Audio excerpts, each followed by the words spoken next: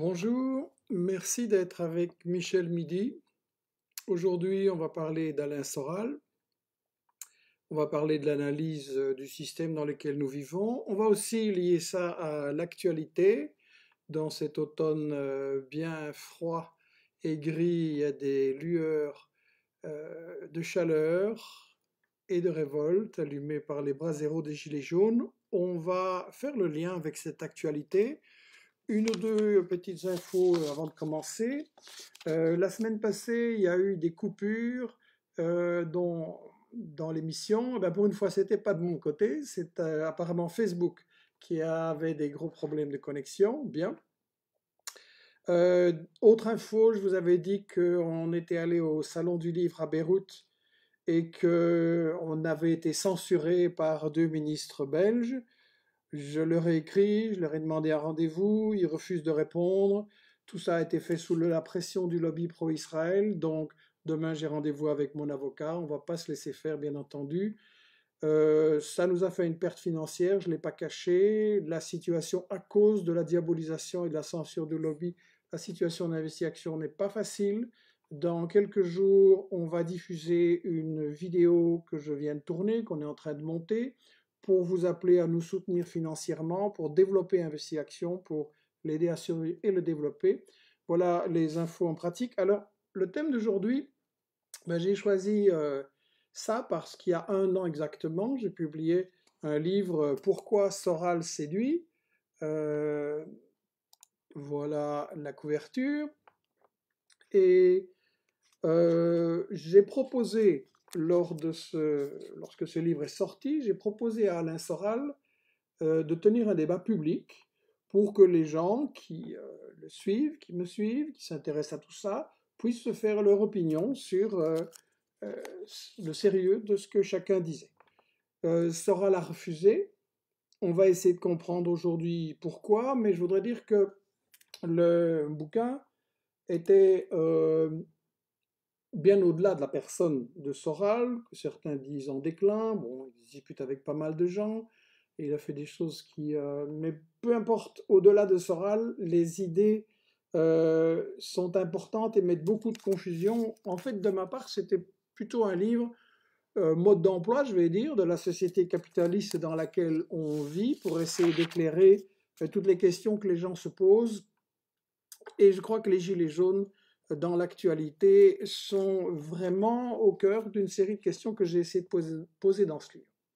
J'ai dit en commençant ce livre que on allait analyser les sept contradictions dans le discours d'Alain Soral, dans son livre Comprendre l'Empire, et on va les passer en revue un peu rapidement pour que vous compreniez, si vous n'avez pas lu les livres, de quoi il s'agit.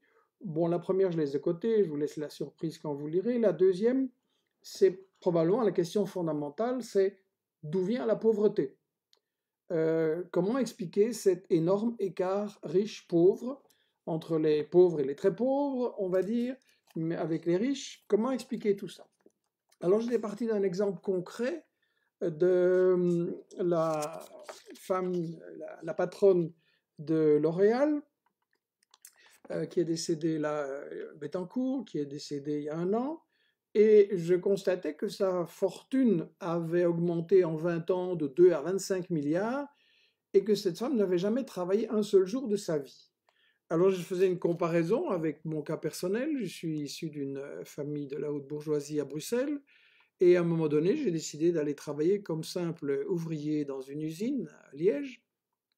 Et j'ai constaté, comme euh, mes camarades de travail, c'est une usine de papier, on était environ une centaine de travailleurs, j'ai constaté que la femme, la, veuve du patron, euh, qui était décédée, qui dirigeait l'entreprise, venait une fois par semaine voir si euh, les affaires tournaient bien, si euh, l'argent rentrait bien, mais elle ne travaillait pas et elle menait une vie de luxe, pendant que nous, les ouvriers et les employés de cette entreprise, ben, on avait tout juste de quoi tenir le coup et revenir la semaine suivante. Et donc, comment ça se fait qu'une personne qui ne travaillait pas vivait la belle vie, tandis que les gens qui travaillaient et qui produisaient toutes les richesses et qui faisaient tout le boulot, eux étaient dans les difficultés.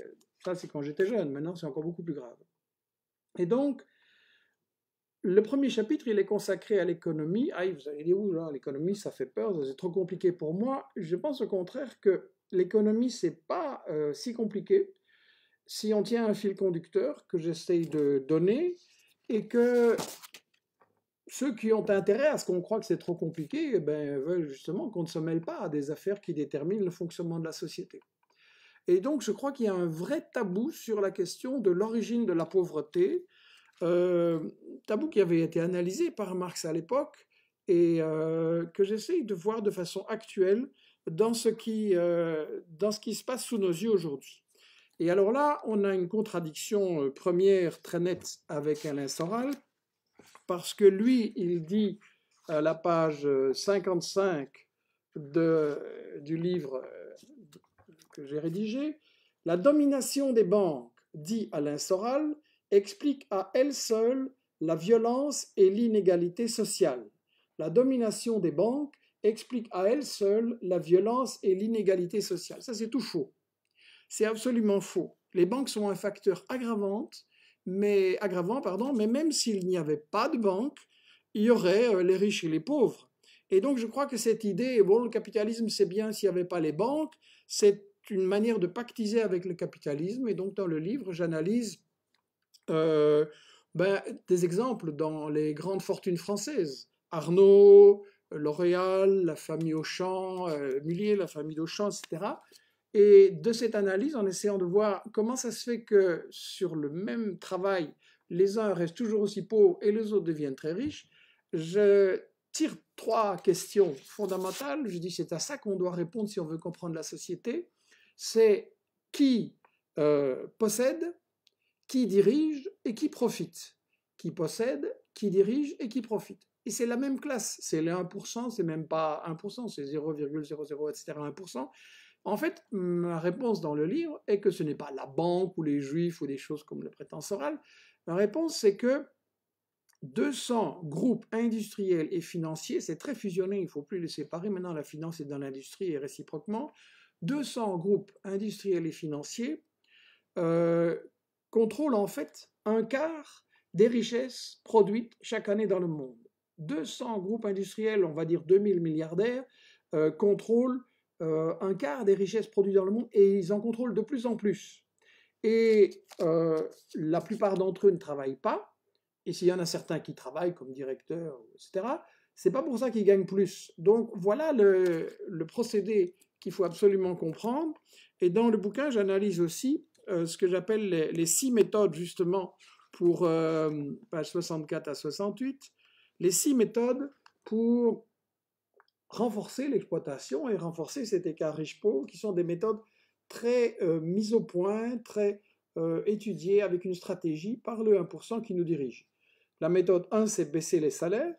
La méthode 2, c'est intensifier le travail dans les mêmes horaires, arriver à produire beaucoup plus, à presser beaucoup plus le citron.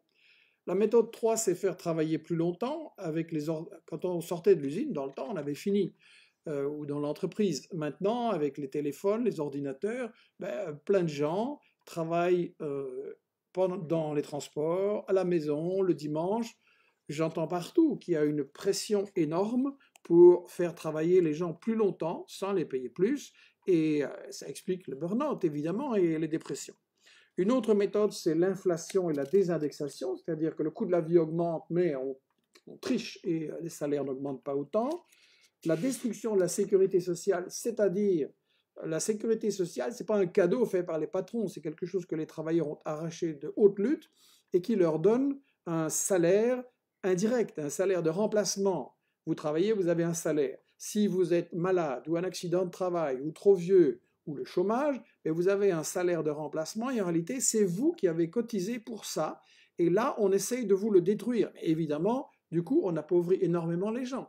Euh, est-ce que vous croyez que la plupart des retraités, ils ont vraiment de quoi euh, consommer? Et après, Macron et les autres économies se disent, tiens, c'est bizarre, euh, comment ça se fait que l'économie ne tourne pas Et donc, je crois que c'est important d'analyser ce phénomène de, l'exploitation, du travail non payé, à la fin de chaque chapitre, je fais une petite synthèse en résumant en quelques lignes les différents points. Et donc là, le résumé de ce chapitre, c'est que le véritable secret du capitalisme, ce n'est pas la banque, c'est le travail volé, c'est-à-dire non payé. Euh, la conséquence de l'exploitation, c'est la crise. Quand j'étais jeune, on avait euh, une crise un peu tous les quatre ans environ, puis ça passait relativement vite. Et maintenant, ça fait 40 ans qu'on est dans la crise. Alors, est-ce qu'on est toujours dans la crise ou est-ce qu'il y a une arnaque derrière ça? Je crois qu'il y a une arnaque. Je crois qu'en fait, on est revenu dans le fonctionnement normal du capitalisme et que les 30 glorieuses de ma jeunesse, les années 45, 65, 70, c'était une période très spéciale, due au fait qu'on avait détruit beaucoup pendant la guerre, due au fait qu'il y avait l'Union soviétique et que euh, on ne devait pas euh, écraser trop et presser trop le citron, donc on avait donné du pouvoir d'achat suite aux revendications, aux manifs, aux grèves, etc. Donc l'économie tournait mieux à ce moment-là, mais c'est tombé en panne euh, vers déjà avant le choc pétrolier en fait. Alors j'essaie d'expliquer comment se produisent ces crises. J'analyse euh, ben, la concurrence dans le secteur automobile entre Toyota, Ford, General Motors et les autres. Et euh, j'essaie de montrer à partir de cet exemple que la crise est quelque chose d'inévitable dans notre système. Ça veut dire un énorme gaspillage de richesses, de ressources et évidemment plein de gens qu'on jette à la rue. Et je crois que ça, il faut bien le comprendre. L'explication de Soral ne tient pas debout. Je lui oppose l'explication, ça va vous surprendre, d'Albert Einstein, mais je crois qu'il avait en 1949 très très bien analysé pourquoi le système capitaliste ne pouvait pas fonctionner. Et maintenant, on le voit de plus en plus. Le chapitre suivant est consacré au colonialisme. Et là, euh, je pars d'une situation que j'ai que j'ai trouvée très scandaleuse dans euh, le livre d'Alain Soral, Comprendre l'Empire, et que j'analyse en point de départ de mon chapitre. Soral dit ceci. Il parle de l'Algérie. Plus je vois la mer de noir, corruption, intégrisme généraux, dans laquelle l'Algérie s'enfonce un peu plus chaque jour, plus je découvre en image que les seules choses qui tiennent encore debout là-bas, infrastructure, urbanisme, sont celles que la France coloniale y a construites, plus je me dis que leur espoir leur seul espoir, c'est qu'on y retourne. Donc pour Soral, pour les seul espoir des Algériens, c'est que la France coloniale retourne là-bas. Et dans son livre, on voit que la même chose doit être dite de, l'Afrique noire. Donc ça, je trouve tout à fait scandaleux. Un, et je le montre dans le livre avec des témoignages de nos amis algériens, je trouve tout à fait scandaleux qu'on vienne nous dire euh, leur seul espoir, c'est qu'on y retourne. Pardon. Bon, l'éternuement n'est pas sorti, mais on espère qu'il est passé. Quand Soral dit le seul espoir c'est qu'on y retourne, j'analyse comment en Afrique noire, les multinationales, je prends les exemples de Bolloré, de Louis Dreyfus, de Total, d'Areva, sont la cause du pillage actuel de l'Afrique noire et de la pauvreté et de toute cette émigration. Et donc, quand Soral dit leur seule chance c'est que nous, colonialistes français, on y retourne, ben non, vous n'êtes jamais partis, et c'est bien ça le problème, et du Maghreb et de l'Afrique noire. Euh, Soral dit aussi dans son bouquin que la colonisation, c'était au fond une erreur, une bêtise de la France, qu'ils ont fait ça par arrogance intellectuelle, parce qu'il y avait eu la commune de Paris, ils avaient eu très peur, donc ils se sont lancés dans des colonisations, mais c'est n'importe quoi. En réalité, c'était un calcul économique pour gagner plus, parce que déjà à ce moment-là, on avait des capitaux qu'on n'arrivait plus à, faire fructifier. Donc c'était l'idée de piller les matières premières, les ressources de l'Algérie. Euh, et quand Soral dit dans son bouquin que c'est un mauvais calcul et que l'Allemagne qui ne colonisait pas s'en est sortie beaucoup mieux que la France et que donc voilà la France y a perdu. Euh, c'est faux, hein, l'Allemagne colonisait aussi mais d'une autre manière, je le montre. Et deux, de très grosses fortunes se sont créées en France et sont toujours à l'origine de certaines fortunes actuelles françaises. Quand Balzac disait euh, derrière chaque grande fortune se cache un crime, je crois qu'il avait beaucoup plus raison que euh, Soral. Le chapitre suivant du bouquin est consacré à la question de la guerre. Je ne vais pas développer longtemps. Euh, il y a juste deux choses qui euh, ne tiennent pas dans le discours de Soral. Il explique que la guerre de 14-18, c'était encore la faute des banques. Ça, c'est son obsession, c'est toujours les banques. Évidemment, les banquiers sont surtout des juifs. Et donc, euh, c'est euh, la faute des banques si le système va mal. La semaine passée, j'avais Jacques Poels qui a bien montré que 14-18, c'était une guerre essentiellement des groupes industriels qui voulaient voler les matières premières et avoir la suprématie mondiale. Je n'y reviens pas, mais alors il y a une chose qui est plus grave, c'est que dans euh, les passages qui concernent la guerre, Alain Soral, en fait, est en train de réhabiliter Hitler et les nazis. Alors, euh, vous allez me dire, non, ça c'est pas possible, qui fait ça? Ben si, il faut bien regarder euh, dans son texte. Je reproduis toujours dans le livre le passage de Soral et ce que j'y réponds. Et donc je vais citer Alain Soral. Écoutez ceci. L'ordre noir, les SS chers à Heinrich Himmler, c'était une tentative de juguler le pouvoir de l'argent. Vous avez bien entendu, les SS, c'était contre les banquiers, contre le grand capital. Et euh, bon, on a peut-être mal compris, mais un peu plus loin, il explique aussi que pour coordonner leur guerre contre Hitler, les états-majors des États-Unis, euh, des Britanniques et des euh, Soviétiques se sont réunis dans une banque à New York, et donc ça c'est la preuve qu'en fait, dit euh, Hitler, la guerre contre Hitler, c'était une diabolisation des opposants à la banque. Vous avez bien entendu, Hitler aurait été un opposant à la banque, ça aurait été un brave type qui, au fond, essayait de sauver les petites gens contre le grand capital. Alors ça, je m'excuse, mais c'est vraiment n'importe quoi au point de vue euh, historique. J'ai interrogé toute une série d'historiens. Je cite euh, des noms, des documents. En réalité, euh, je vais reprendre dans le bouquin, c'est à la page 237. En réalité, je montre que, avec tous les documents dont je viens de parler, que Premièrement, Hitler n'était pas un opposant à la banque puisqu'il a triplé son chiffre d'affaires. Il leur a donné des avantages énormes. Ensuite, les capitalistes allemands, industriels et banquiers ont financé Hitler dès ses débuts. Donc je m'excuse, ils n'ont pas financé quelqu'un qui allait euh, les mettre au pas et, euh, les euh, juguler. Ça c'est n'importe quoi. Je montre aussi comment le capital des États-Unis a financé Hitler en m'appuyant sur les travaux de Jack Poels, mais là il y a énormément de faits et de preuves. C'est Exxon, c'est la famille Bush, c'est IBM. Il y a vraiment eu un, financement par le grand capital des États-Unis euh, pour Hitler. Le chapitre euh, guerre, je ne suis pas seulement dans le passé, euh, j'essaie de montrer aussi comment fonctionnent les guerres des États-Unis. Pour moi, les guerres, les guerres d'aujourd'hui, pour moi, la guerre, c'est non seulement le prolongement de la politique par d'autres moyens, mais en fait, c'est la continuation de l'économie par d'autres moyens. Ce sont des guerres économiques, on essaye de le montrer. Et j'analyse aussi dans ce chapitre pourquoi euh, on est en train de préparer une euro-armée. Et là, depuis que le bouquin est arrivé, c'est sorti en plein dans l'actualité, avec euh, les bagarres avec Trump. Il y a Macron et d'autres qui ont relancé l'idée d'une euro-armée.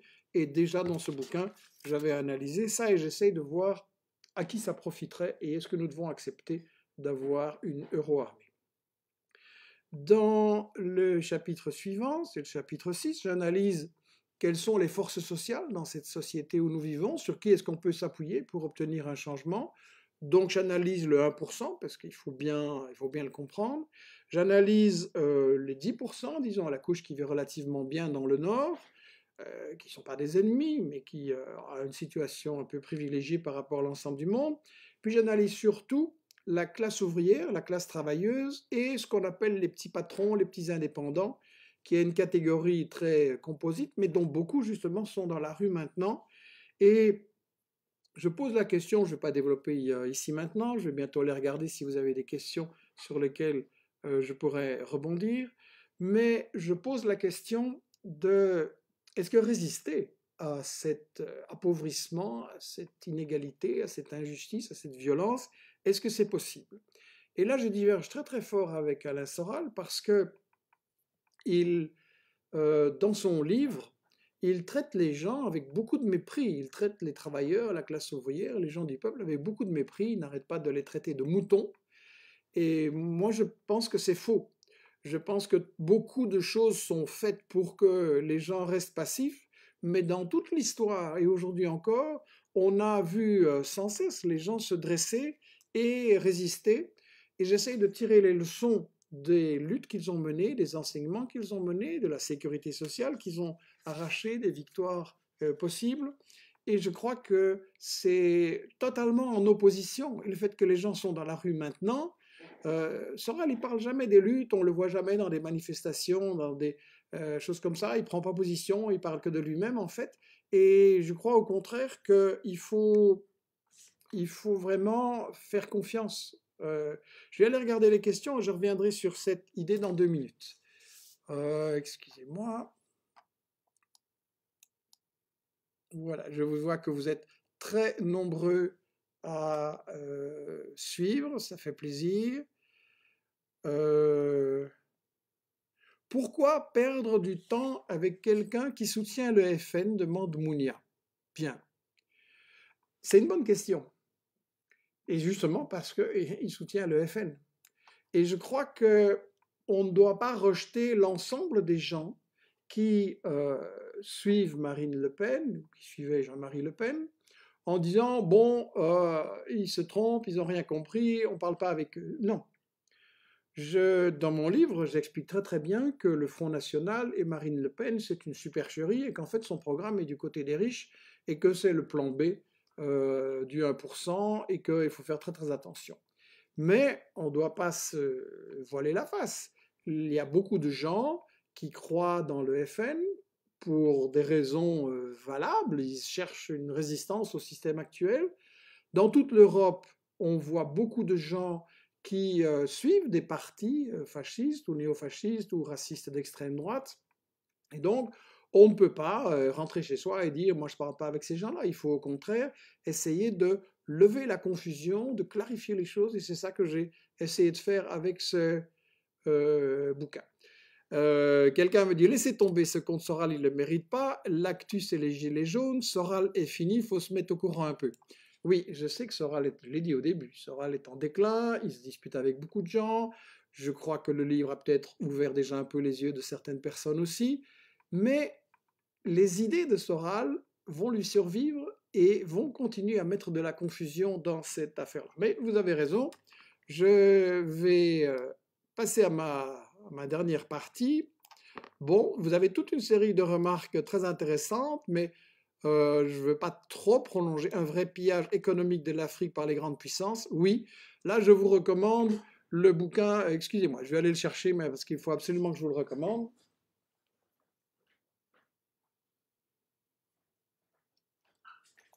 Voilà, le manuel stratégique de l'Afrique de Saïd Bouamama, en deux tomes, euh, fort illustré. Euh, je l'ai présenté dans une petite vidéo qui est sur notre site. Et ça, ça explique effectivement, euh, et il y a un lien avec tout ce qu'on a dit, le pillage de l'Afrique, c'est très important de le comprendre, et Saïd Bouamama l'explique de façon formidable. Bien, je vois qu'il y a vraiment beaucoup d'interventions et de questions aujourd'hui. Oui, ce à quoi je ne peux pas répondre maintenant pour ne pas rallonger, je pense que vous devez aller manger puis retourner au boulot. Euh, ce à quoi je ne pourrai pas répondre dans l'émission, ben je, comme vous le savez, je réponds après directement dans la page Facebook aux différents commentaires et je dialogue avec vous parce que pour moi c'est très important. Alors, j'en arrive à la fin. Il y a des gens qui m'ont dit oui, mais pourquoi faire un livre contre Soral? Parce que au fond, il dit des bonnes choses, oui, il dit des conneries, oui, il a un caractère, mais il dit des bonnes choses. Je pense qu'on doit faire attention là. N'importe qui peut dire telle ou telle bonne chose, et la question est de savoir quelle est l'explication qu'on donne du système et surtout où on emmène les gens.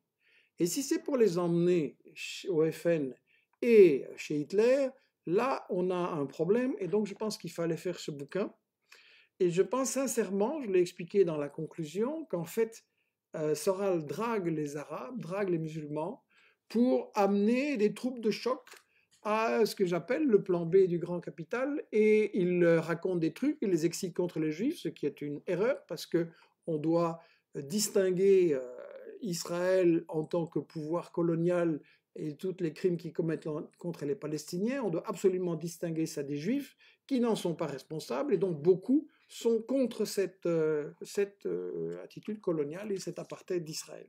Donc on doit vraiment faire la distinction et je disais, on ne peut pas euh, laisser faire toutes ces idées qui nous mènent dans la confusion. Alors, j'ai dit au tout début, pourquoi Soral a-t-il refusé le débat? En fait, il a, à l'époque, hein, je lui ai proposé un débat public, il a refusé en avançant trois raisons. Alors ça, ça fait beaucoup. La première raison, c'est qu'il n'avait pas le temps. Après, j'ai vu qu'il s'était lancé dans un projet de duel euh, dans un sport de combat avec un bonhomme. bon, si il veut consacrer son temps à ça plutôt que d'essayer d'éclairer les gens qui le lisent sur un débat important, ça dit déjà beaucoup. La deuxième raison de Soral, c'est que j'avais rien compris euh, au sionisme et à la domination des juifs sur la société. Bien, effectivement, là, je suis pas d'accord avec lui. Je vois pas les, j'analyse pas les choses de la même manière que lui. Et la troisième raison de Soral, c'est que dans le fond, sur presque tout, on était d'accord, lui et moi. Donc ça, c'est déjà en contradiction avec la raison précédente. Et ces trois raisons qui tiennent pas debout et qui s'annulent l'une l'autre. Euh, donc, je crois que le fond de son refus, c'est la peur, c'est la trouille. Je crois qu'il a construit une image de gourou, de chef, et on ne discute pas avec le chef, on ne discute pas avec le gourou. Moi, je pense au contraire que l'histoire n'est pas faite par des chefs et par des héros. L'histoire est faite par les simples gens, par la masse des gens, par le peuple. Et ça, c'est les véritables héros. C'est pas moi qui l'ai dit, c'est une idée qui a déjà inspiré beaucoup de révolutionnaires dans le passé.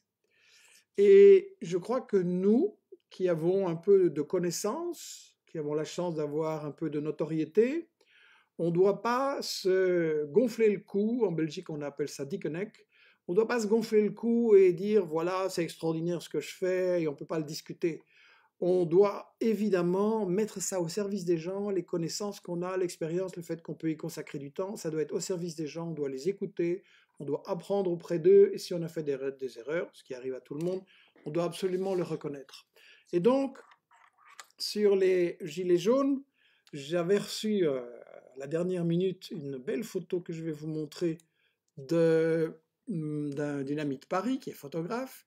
Il y a eu là des belles manifestations, Macron assez, gavé aux taxes et au mépris de l'Élysée, on n'a plus rien, le peuple est étranglé. Voilà, je crois que le mouvement des Gilets jaunes, il est euh, diabolisé. Et cette diabolisation de Macron et des dirigeants en Belgique et ailleurs, cette diabolisation, c'est la panique. C'est exactement la panique. Le peuple est dans la rue, le peuple lutte contre la pauvreté, son mouvement est populaire, et donc, on essaye de faire croire que c'est l'ultra-droite, que c'est des violents, que c'est des casseurs. La violence, elle vient du pouvoir. La violence, elle vient de Macron et compagnie qui obligent des gens à vivre avec 600, 700, 800 euros par mois. C'est impossible. C'est euh, ce que vous dépensez euh, pour manger en une journée. Donc, c'est complètement indécent. Et cette idée que oui, euh, les gilets jaunes n'ont rien compris, on doit tous être écolos et on doit renoncer à la voiture. J'ai un ami de Paris qui me vient de m'écrire un petit billet ce matin en voyant que je préparais ce sujet, et Bruno écrit, je cite, Ce n'est évidemment pas la voiture en tant que telle, comme signe de leur attachement au monde de la consommation, que les gilets jaunes, majoritairement provinciaux des campagnes, défendent aujourd'hui, ce dont les accusent les écolos bobos branchés mondialisés. En avant. C'est simplement, poursuit Bruno, que leur voiture diesel, achetée d'occasion, et que la commission euh, pardon, représente leur ultime possibilité de survivre, d'aller chercher un boulot dans les campagnes désertifiées où ils survivent, c'est-à-dire d'avoir un toit, un emploi et de quoi se nourrir eux et leurs familles dans le système capitaliste tel qu'il est devenu. Et euh, Bruno pourfend cette gauche kérosène qui navigue d'aéroport en aéroport pour aller porter dans les universités du monde entier, dans les festivals de Cannes, la bonne parole écologique et qui ose leur faire la leçon sur ce point, un peu de décence des Bruno. Je pense en effet que, évidemment, on essaye de, diviser et de diaboliser, et on dit voilà, les gilets, les gilets jaunes ne sont pas écolos. C'est culotté de Macron qui a littéralement en fait foutu à la porte Nicolas Hulot de son gouvernement, c'est lui qui l'a foutu à la porte en réalité, en refusant de rien faire de sérieux pour l'écologie et en continuant à appauvrir les gens euh, au profit du 1%. Macron qui veut privatiser la SNCF, mais c'est quoi? Ça Ça va provoquer encore plus de bagnoles sur les routes, encore plus de pollution, encore plus de problèmes pour nos gosses. Donc le choix, il n'est pas entre le pouvoir d'achat et l'écologie, le choix, il est entre le 1% et le 99%. Et si on a un système des, euh, des nouvelles forces qui nous permettent d'avoir euh, l'écologie et le pouvoir d'achat, on va pouvoir gérer les deux problèmes dans l'intérêt des gens, mais pas avec Macron et pas avec la classe qu'il représente. Donc, euh, je crois que les mouvements de masse, il y a toujours eu une grande diversité au départ, il y a toujours certaines confusions, il y a certaines euh, personnes qui viennent avec d'autres idées, euh, etc. C'est pas grave. Il faut maintenant, dans un mouvement comme ça, étudier les causes, analyser pourquoi ces gens sont pauvres et appauvris. D'abord, ces gens, ils ne sont pas pauvres, ils sont exploités. Et la question, c'est exploités par qui? Et je crois qu'il faut vraiment étudier ces causes il faut voir ce qui se passe, il faut arriver à trouver des revendications qui vont désigner la vraie cause des problèmes. Et je crois que, bon, dans ma jeunesse, il y avait dans les manifs un slogan qui s'appelait Faites payer les riches. Ça me semble justifié, à condition de bien préciser que les riches, c'est les 1%. C'est pas parce qu'on a une voiture ou parce qu'éventuellement on a une petite maison ou qu'on part en vacances qu'on est vraiment des riches. Non, le problème, il n'est pas là. On ne doit pas se diviser entre les différentes catégories du peuple. On doit vraiment euh, s'unir, comme je le disais, contre le 1%. Voilà, je pense que c'est à ça que ce livre voulait servir, c'est à essayer d'éclairer la société dans laquelle on vit, les causes de la pauvreté, qui nous dirige, et est-ce qu'on peut résister par rapport à cela?